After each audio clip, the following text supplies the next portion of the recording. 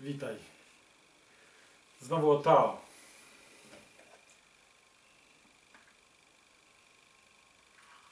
Woda wrząca, która paruje. Ta para zmieni się wcześniej czy później w wodę. A tu mam chłodną wodę, przyjemną do picia.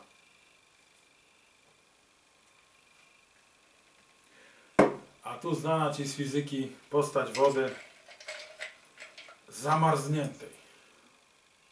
To wciąż to samo H2O. Woda, woda i woda. Może mieć stan stały, może być cieczą, może stać się lotna, być parą. Tę mądrość już dawno temu odkryli Chińczycy, mówiąc o Wuxiang.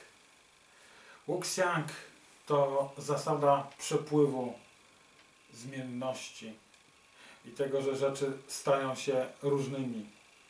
Jedna przekształca się w drugą. Nic nie jest na tym świecie bezwzględnie jednoznaczne.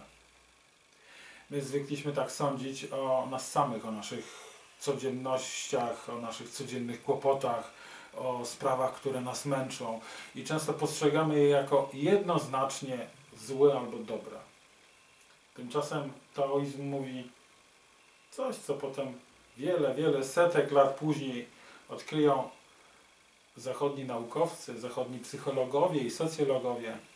Rzeczy stają się takimi w zależności od tego, jak o nich myślisz. E, prosta zasada coachingowa mówi dlatego, jeśli postrzegasz coś jako kłopot, ograniczenie, trudność, barierę, to tak długo, dopóki myślisz o tym w dany sposób, ograniczasz się.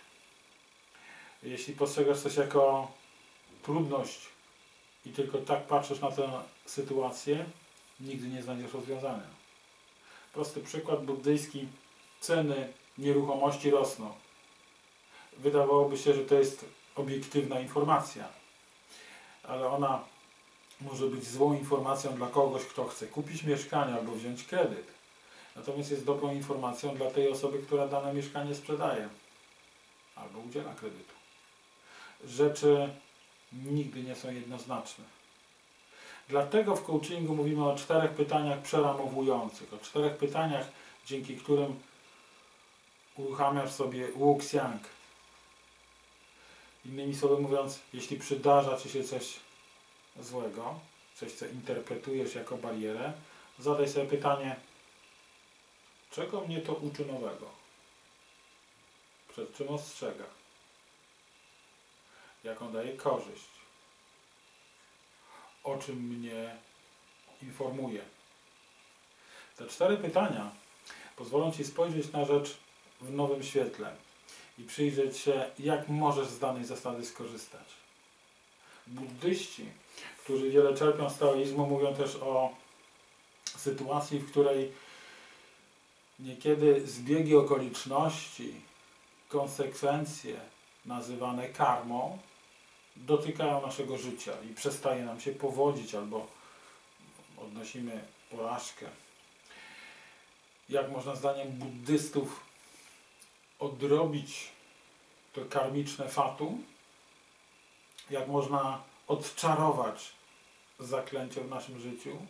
Na trzy sposoby. Można po prostu odcierpieć, co wiele z nas, wiele osób po prostu robi.